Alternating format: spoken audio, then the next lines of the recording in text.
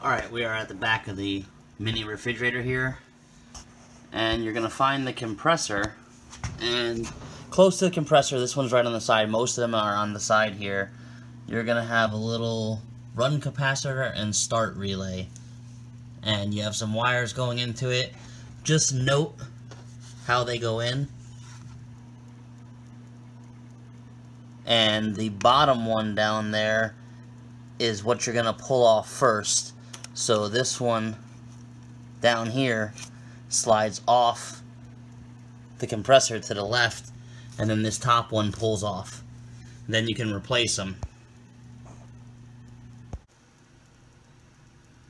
Alright, this is the little run capacitor and start relay.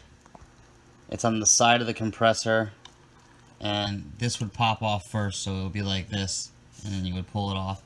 And if you shake the one with the little sphere there, and it might have writing like this, QP2-4.7, the link will be in the description for this. If this one makes noise and rattles, it's bad. This one makes a little noise, because it's like a switching relay in there, but they sell as a set so you replace both. And basically when you go back on, you would plug this one in first on the compressor, and then this one would go underneath it and plug, so it kind of like lock the tabs onto it. But this is what you see inside of it when you usually find them broke. It's like a little ceramic disc. And if that shatters, you just get a new one. Like I said, they're pretty cheap.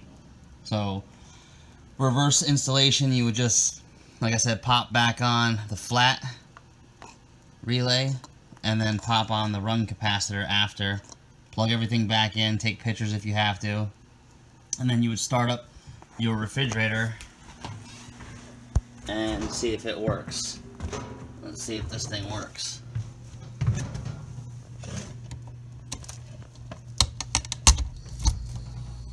Oh, I heard it click on.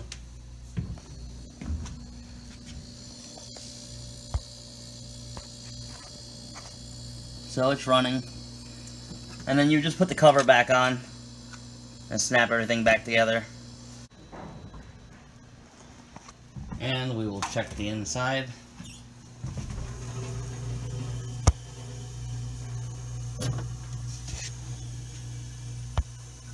Yep, I don't know if you can see that or not. Maybe not, but it does have frost on there already. Yeah, you can see it. So, it is getting cold. Oh. Beer froze to it.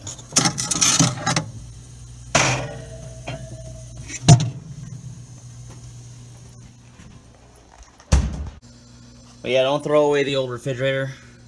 It's usually this that breaks. Hope this helps. Thanks for watching. Please subscribe.